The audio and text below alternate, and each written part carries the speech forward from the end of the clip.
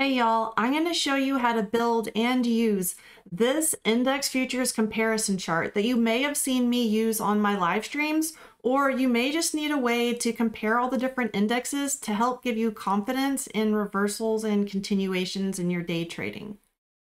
First, I'm going to switch to regular trading hours because it's a lot easier to show you how this works if we kind of tune out all of the noise that happens after hours. There's so much consolidation that happens after hours that a lot of the times this just kind of makes it harder to see what's going on. So one of the things you need to know is first of all, you kind of have to find the right zoom and it'll depend on how large your chart is and that sort of thing. But what you're looking for is a way that you can kind of see these different separations and the peaks and valleys in this chart. So what I have going on here is it looks like a big jumbly mess a lot of the times, but I can see what all of the important indexes are doing all at the same time. I have everything color coded so that whenever I have these indexes on another chart, it's colored the same and it makes it really easy for me to see this chart. But in general, what I do is I color all of the indexes, these pretty pinks and purples and blues, and then the more bold warning indexes I have in these bold, more crayon colors. So what I'm looking for is if we have agreement between the indexes, and you'll hear me call them the sisters a lot. So if all four sisters are in agreement, they'll be moving together and their lines will be going the same direction.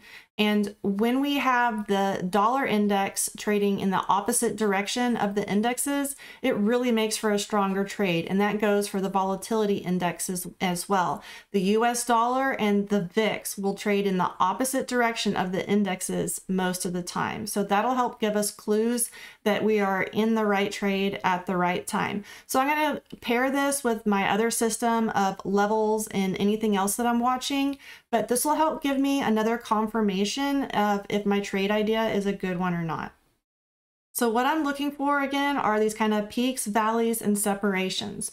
When we have the indexes trading in a the, the same direction together, and the other two moving in the opposite direction together, we know that this is a strong supported trade. Hopefully we were able to get in somewhere down here at a level or with some other indication, and then we're supported when we saw this little hook forming on the bottom of these indexes. You can see they came down and were kind of forming these little V shapes. I like to call them kind of hooks.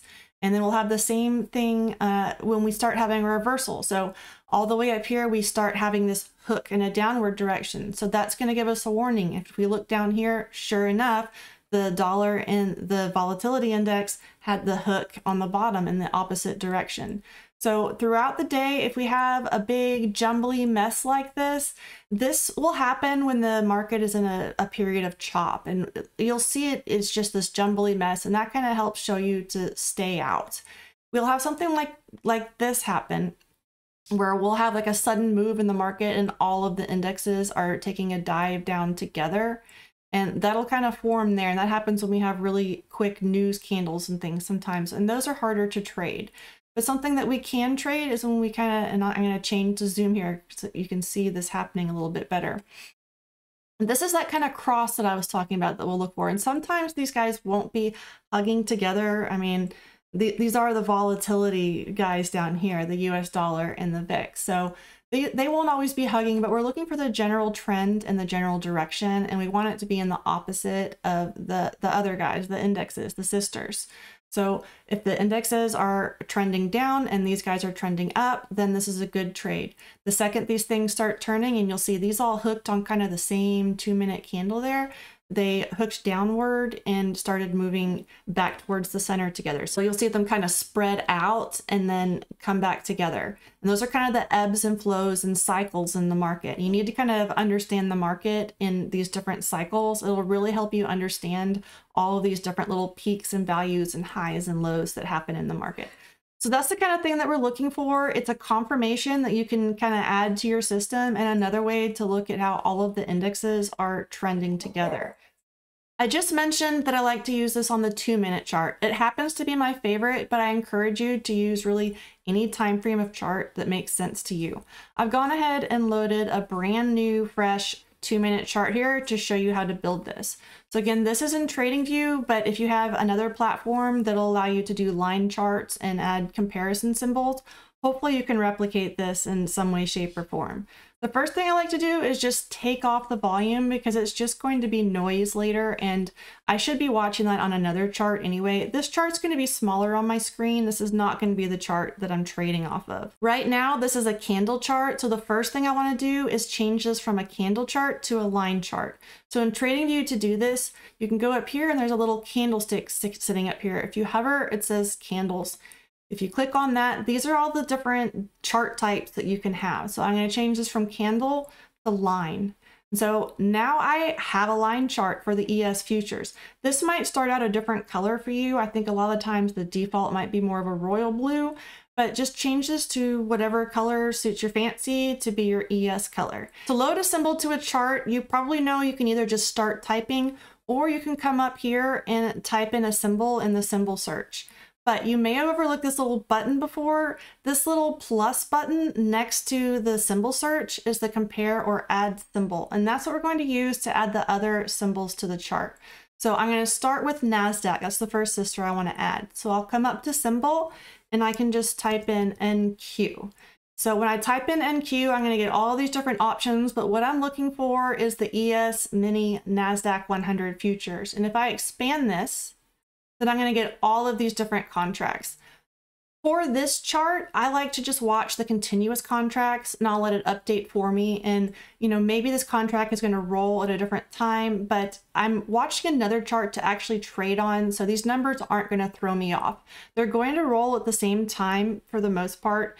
All the indexes will anyway. And so we can just go ahead and let them show their relative strength and weakness on this chart. Plus, it's we're really just using it intraday anyway.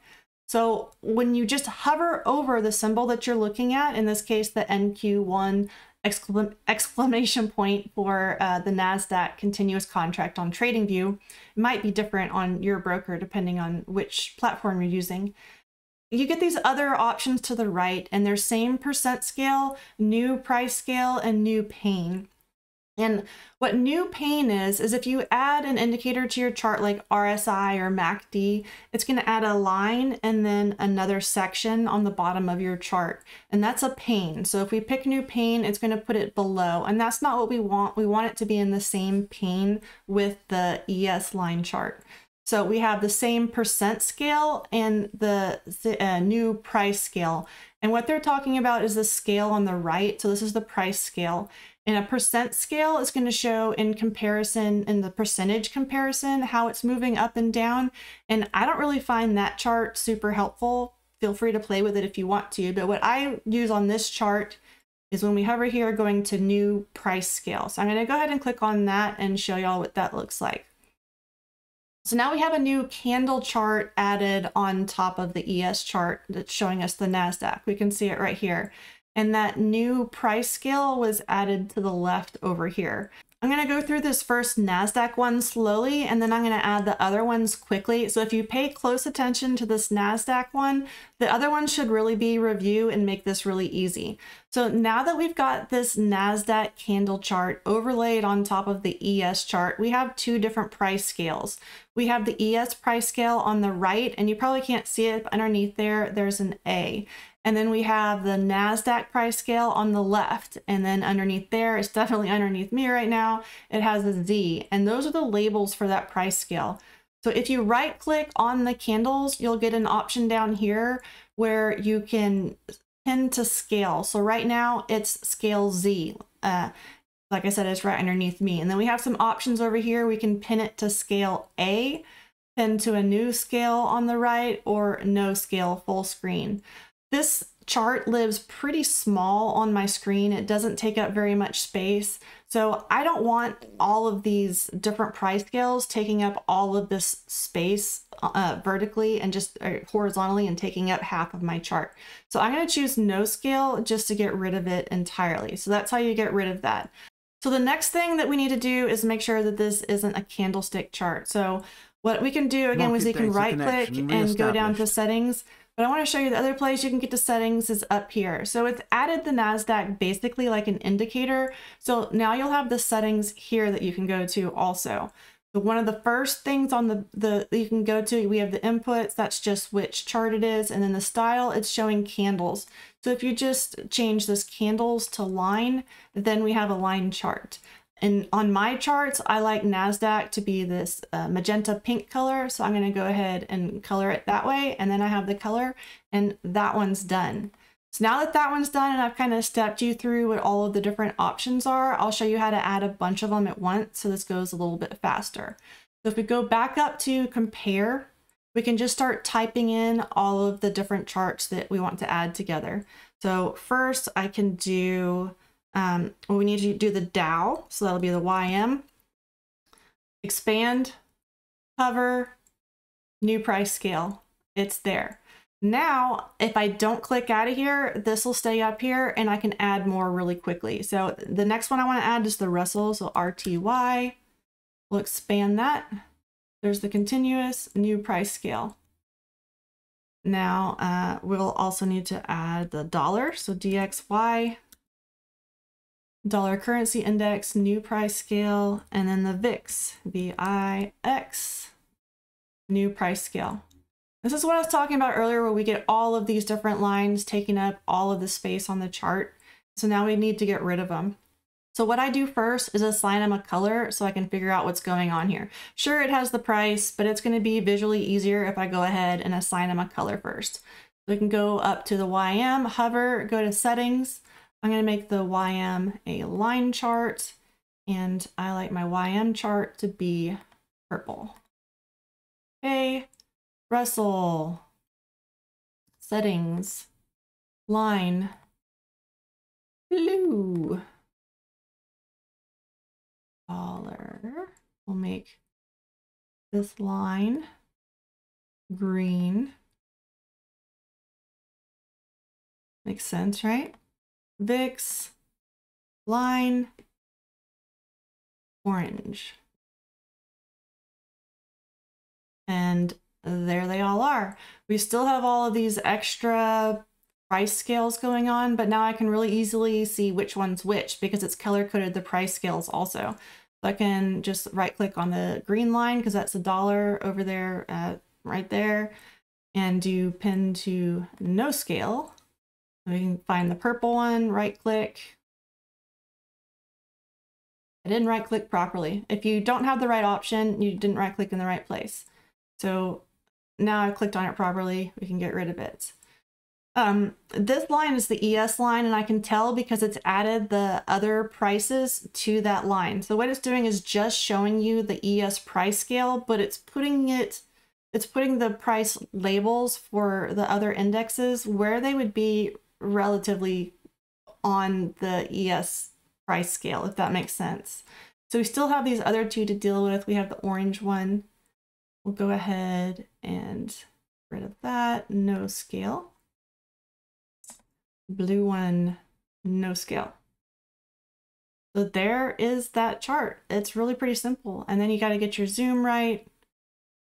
And like I said, if you're if it's after hours, like uh, the market just closed, so that's why the VIX has stopped moving is the, the market's closed. If you go to regular trading hours, it'll get rid of all that for you and you can start kind of studying how all these crosses and things work. So thanks for joining me for that little quick lesson. I'm trying to keep covering all of my different systems. So just bear with me, keep watching the playlist and the videos and joining me for lives. And hopefully we'll get you making a lot of profit really quickly here. So love y'all. Take care. Don't forget to like and subscribe.